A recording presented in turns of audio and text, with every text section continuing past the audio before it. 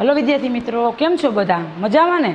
આપણે જોયું ગયા ટોપિકમાં કે ગયા વીકમાં કે આપણે પાઠ પૂર્ણ કરીએ, બરાબર છે? આપણો કોર્સ પૂરો થઈ ગયો સેમ વનનો પણ એમાં હજી અમુક ખૂટે છે. શું? તો કે ભારતના નકશા.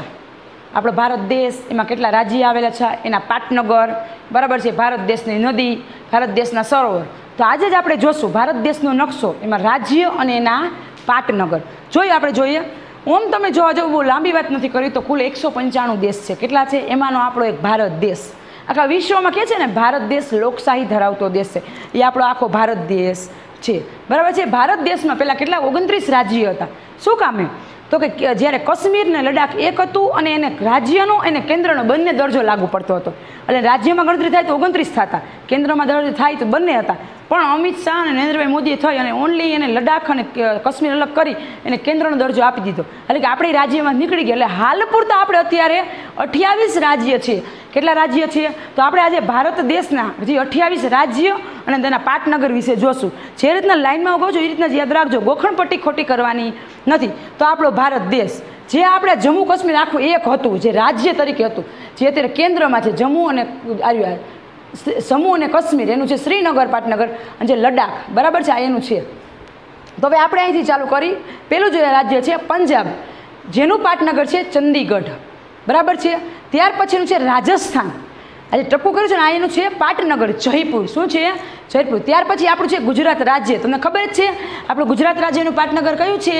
તો કે ગાંધીનગર. બરાબર છે? ત્યાર પછી છે મધ્યપ્રદેશ.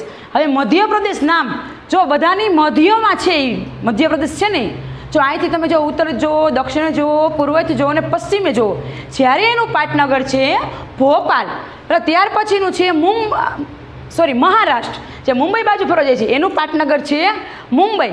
ત્યાર પછીનું રાજ્ય છે કર્ણાટક, એનું પાટનગર બેંગલુરુ છે. એના પછીનું છે કેરળ.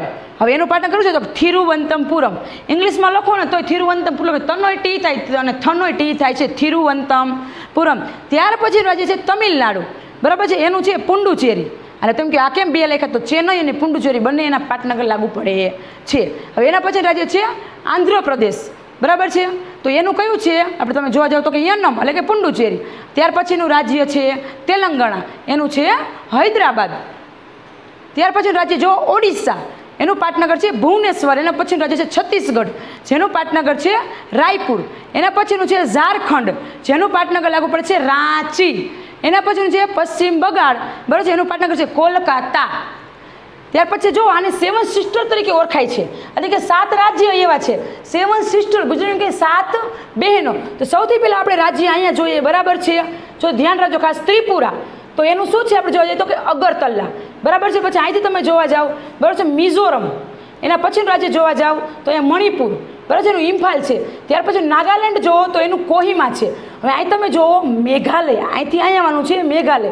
જેનું પાટનગર છે શિલોંગ. અહીંથી અહીં તમે જુઓ દિસપુર, જેનું પાટનગર છે અસમ.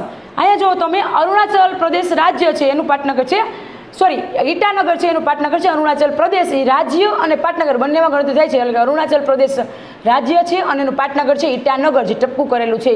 નહીં દેખાતું હોય, પણ તમે ટેક્સ્ટ બુક કાઢજો પેજ નંબર એકસઠ કે બાસઠમાં છે. બરાબર? છે ત્યાર પછીનું છે આખું, આ દેશ લાગુ પડે છે. આ કાંઈ રાજ્ય પાટનગર નથી, એ ભૂતાન આખો દેશ છે. બરાબર છે?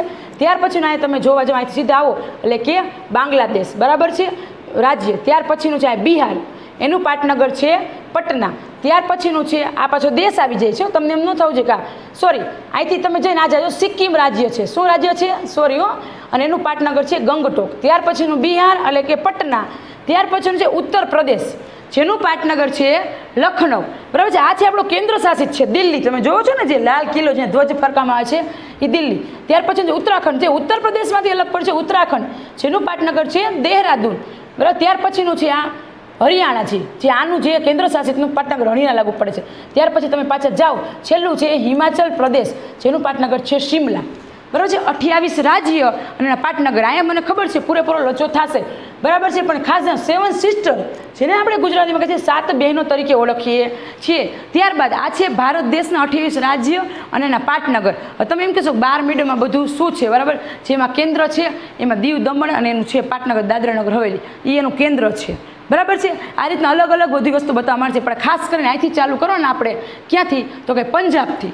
અહીંથી લઈ આ બધે આ લાઇનમાં લઈ અને અહીંયા હિમાચલ પ્રદેશ આપણે અઠ્યાવીસ રાજ્યો પૂર્ણ કરવાના છે. આ તો ભારત દેશ, એના અઠ્યાવીસ રાજ્ય અને એના પાટનગર. આના પછીમાં આપણે જોશું, બરાબર છે? ટૂંકમાં તો ભારત દેશની નદી અને સરોવર. બરાબર છે? આટલું જોઈએ. થેન્ક યુ અસ્તુ.